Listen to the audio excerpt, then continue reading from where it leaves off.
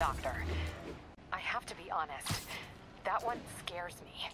Might be the smartest supervillain I've ever encountered. Yeah, that's what I'm worried about. Hold tight, Captain.